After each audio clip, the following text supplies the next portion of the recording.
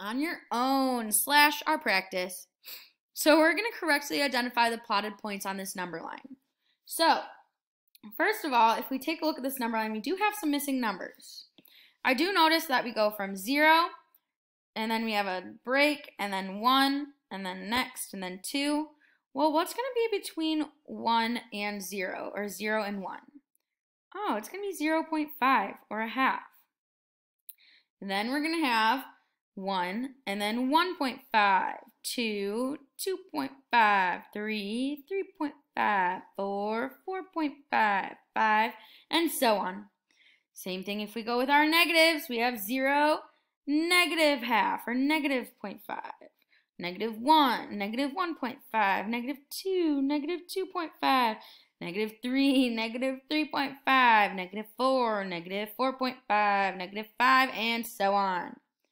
All right, so we're going to take a look and we're going to see, okay, what's the decimal and the fraction of these numbers here? So we have that 0 that separates it. The first one, do, do, do. Uh, yeah. Okay, so that first one, we have that decimal. No, I want to do this color.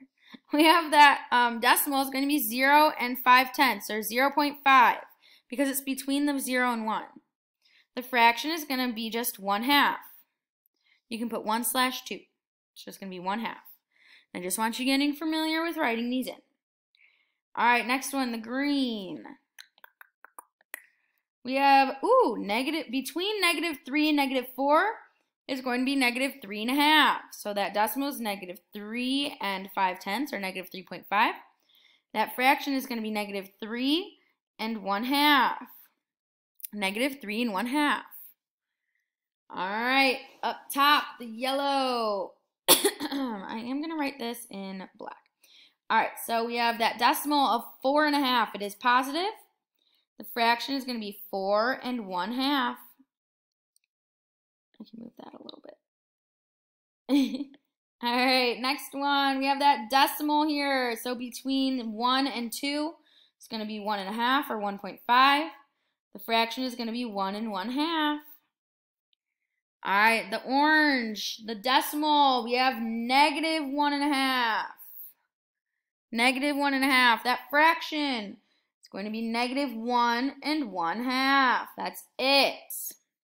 So that's going to be it for our review, our practice slash on your own. Now, remember, don't stress. Take a deep breath. I just want you getting um, familiar and practice with reading number lines. That's all. Um, other than that, great job.